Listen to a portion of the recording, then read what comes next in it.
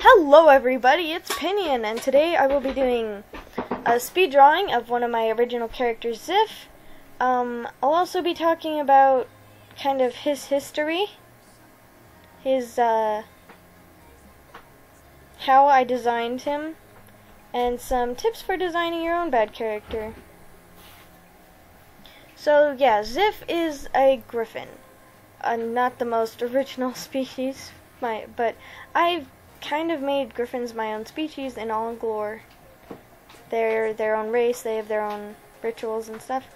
So anyway, Zif was the first villain I created, which is why he looks the way he does. He's kind of stands a lot out compared to some of my other villains because he was the first one.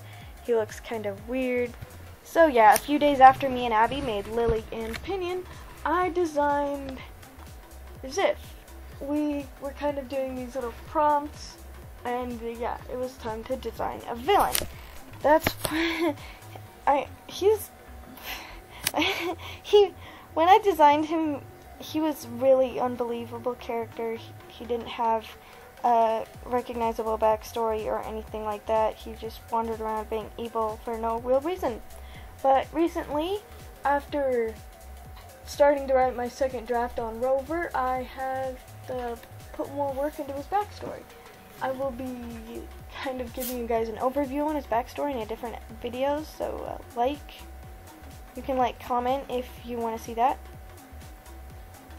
So I made Zif pur purple because that was the only bad color I could think of.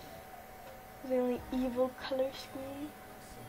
Um, the way he looks, though, um, with his big ears and stuff, the way he looks plays a lot of importance into his character development, just his physical appearance, because that's how Griffin culture is.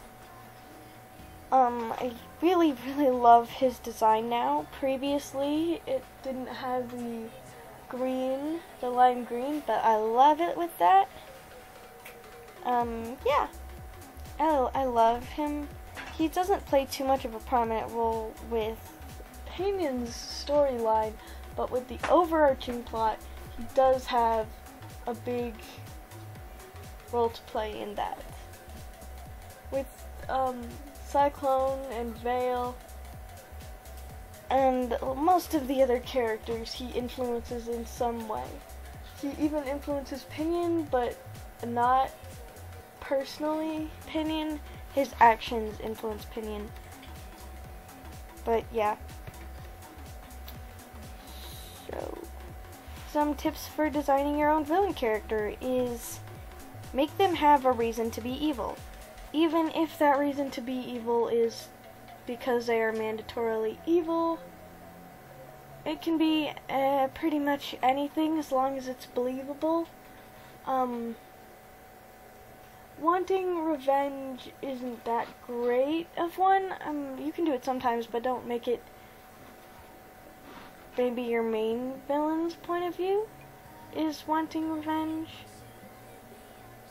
He can want revenge, but he, I don't know, other motivations just seem less used to me, so they're going to end up being more unique in the long run if you use other motivations. Um, yeah.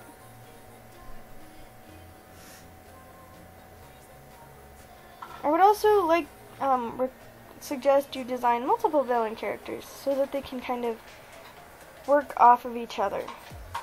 Zif has this whole group and they all have this certain dynamic. He's, yeah. I don't want to use my characters as an example because I'm not by far a great character designer, but yeah, just some little tips.